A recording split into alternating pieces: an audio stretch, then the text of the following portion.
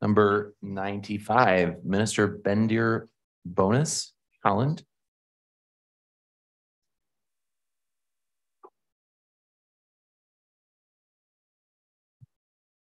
My turn already. Wow, it's just getting comfy. Good evening. My name is Bender Bones and my pronouns are he, him. I am an ordained minister of the Satanic Temple and I am here to speak on behalf of the Satanic Temple of West Michigan, which includes our members and ministers living within Ottawa County. In regards to the constitutional county resolution, I want to thank the county board and the Ottawa Impact Organization for their declaration of intent to uphold the values enshrined in our constitution. Our constitutional rights are our most cherished assets as United States citizens, and even more so as Satanists. The First Amendment states that Congress shall make no law respecting the establishment of religion, nor restrict the free exercise thereof. This establishment clause is the driving force for freedom of religion in the United States and the greatest restraint for the encroachment of theocracy.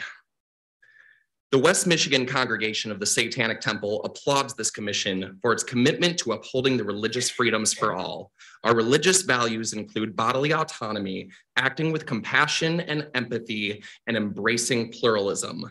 These values are core to our deeply held beliefs as Satanists, and we are always pleased to see these values upheld by governments at all levels. I observe that these city commission meetings begin with prayers and invocations. I am pleased that by swearing this oath to uphold these freedoms, it opens the door to make Ottawa County a place where Satanism will grow and thrive.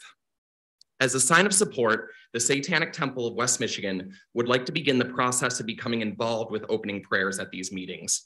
The Satanic Temple of West Michigan is also excited to celebrate the holidays with the residents of Ottawa County, as we are always looking forward to opportunities where our goat display would be a fitting representation for the Satanic community. And we will always be looking out for opportunities for Satanism and other religious groups to work together to build up a stronger and more diverse community. In closing, I want to thank everyone in support of the Constitutional County Resolution for strengthening the rights and freedoms of Satanists of the Satanic Temple, West Michigan. I am proud to know that Ottawa County will become a stronghold for Satanists of all type and I am looking forward to seeing what the Satanic Temple of West Michigan and the municipalities of Ottawa County can do when we work together under the banner of religious freedom. Hail Ottawa County and hail Satan. Thank you. Thank you. Thank you.